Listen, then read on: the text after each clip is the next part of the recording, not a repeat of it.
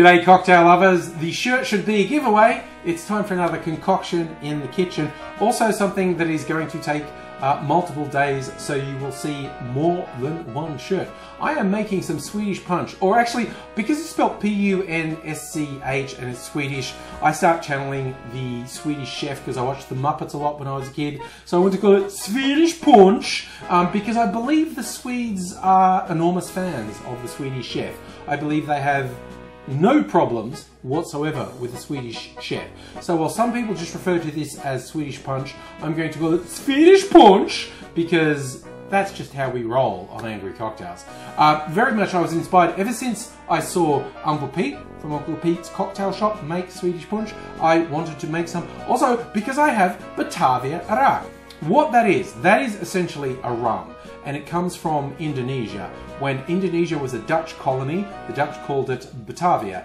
And uh, I, I, believe the base of this rum is uh, rice rather than sugar. So it's different to other rums, has its own character. And this, to me, weirdly, uh, Batavia Arrack is ridiculously difficult to get in Australia. And I say ridiculously difficult because Indonesia is just our most immediate neighbour to the north. It is just north of Australia, but it is ridiculously difficult to get Batavia Arrack.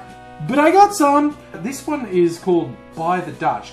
I think the reason it may be difficult to get Batavia Arrack in Australia is because it doesn't come directly from Indonesia. It's initially made in Indonesia and it's uh, aged and bottled in Holland. I think that might be the whole source of the problem. But anyway, I got one.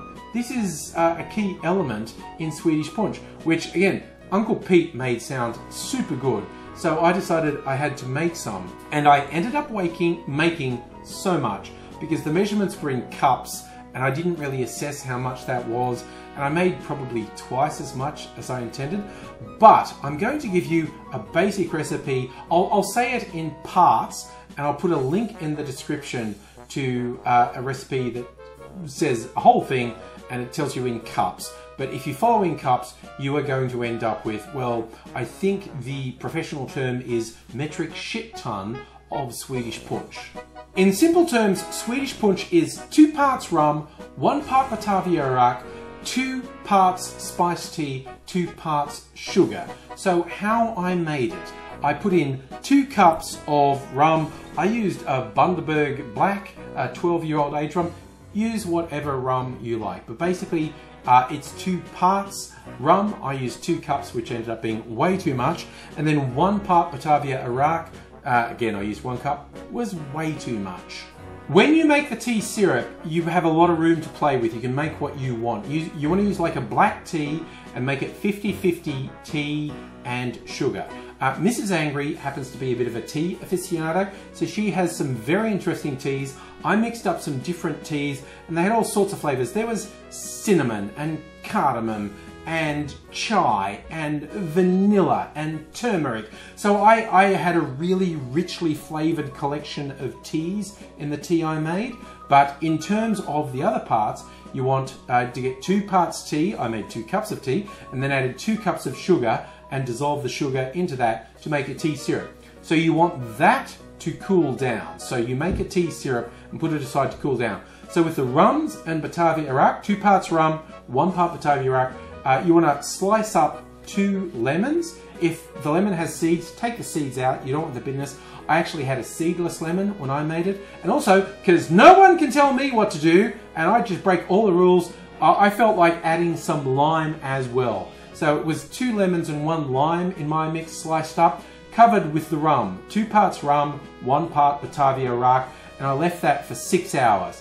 After six hours, I combined the rum mix with the sugar tea super spicy crazy syrup mix and then you bottle that and you want to let that sit for at least 24 hours for the flavors to really permeate and then you taste it. So in other words, I've done all that and I need to let it rest and then I'm going to come back and I'll be wearing a different shirt when I taste it. It's tasting time. This is actually close to two days later. The recipes I saw for Swedish Punch said after you make it and mix it, let it rest for 24 hours, let all the flavors permeate. It's actually closer to two days, but here it is. I've made a big old bottle, so I better like it because I've made a lot of it. Uh, so I keep the old Starward whiskey bottles because it has that nice starburst paintings on it, so it looks cool. And time to have a little taste of our Swedish punch, or punch as I've decided it should be called. Ooh, you're getting that gurgling ASMR. It's quite syrupy, it's quite thick, which is not surprising given the amount of uh, sugar that's in it. So instantly it's very aromatic, just all the, the spices from the teas come through. And it is unsurprisingly very sweet. And the rums are coming through. Very late, it's a teeny bit bitter, which would be the tannins from the tea, I assume. But it is very nice. No wonder people like this. I feel like this might go really well with soda or lemonade, club soda as Americans call it.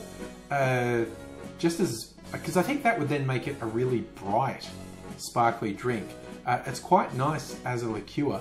It is quite thick and rich, uh, and hmm, I can see why people have been into Swedish punch for so long.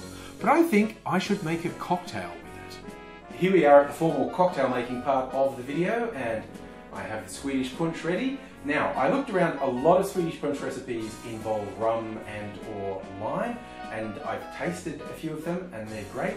But I found one that's a little different and I wanted to try that. It's called a Highfalutin and besides the Swedish punch, it has bourbon rather than rum. So I'm going to try that out. But seeing I've got the Swedish punch ready, the first thing we're going to do is add 30 mils of Swedish punch. The recipe I found recommended using a bourbon here. That's just because they don't have access to high quality Australian whiskies or they recommend them. That's my story anyway, but yes, bourbon style whiskey, whatever takes your fancy that you can get a hold of wherever you are in the world. I'm probably going to use the last of my Starward Fortis here. This is a local whiskey, uh, 100 proof. You don't have to go for 100 proof, uh, 80 proof would be fine, but your choice, 45 mils of whiskey. The final ingredient was quite an obscure one, and I don't have it, but I think very few people would. It's called beer, beer, beer, beer, B-Y-R-H-H. I will put the actual recommended product in the description, but I looked it up, seeing as I don't have it and can't get it, and it's an aromatized wine, so it's in the Vermouth ballpark, but it has quinine in it, so I thought, I know what I've got. I have Cocchi Rosa, which has aromatized wine in it. And I'm going to split the measure 50-50 between the Cocchi Rosa and Maidenii's Classic Vermouth. The recommended measure was 30 mils of aromatized wine, so I'm going to do 15 mils each of the Cocchi Rosa and the Vermouth. Given this is an all booze cocktail, you're going to want to stir it for 30 seconds or maybe more, depending how much dilution you like.